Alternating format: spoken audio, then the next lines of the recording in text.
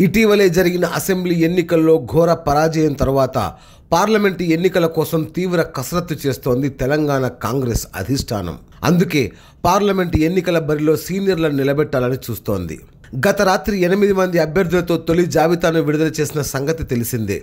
మిగతా తొమ్మిది స్థానాల అభ్యర్థులను ఇవాళ రాత్రి విడుదల చేయనున్నట్లు తెలిసింది.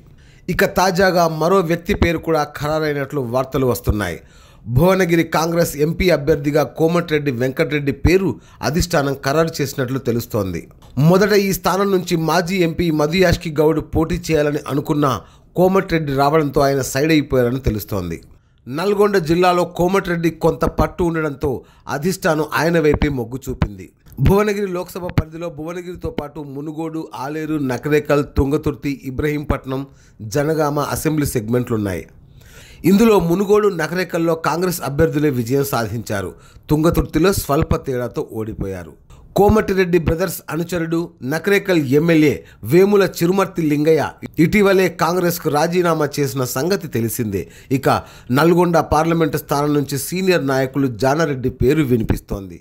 Great Telangana news Hyderabad. నిరంతర కోసం ఛానల్ను సబ్స్క్రైబ్ చేయండి. పక్కనే ఉండే బెల్ సింబల్ను క్లిక్ చేయడం మర్చిపోకండి. అప్డేట్స్ని మిస్ అవ్వకండి. Thanks for watching please like comment share follow on Facebook Google plus Twitter Instagram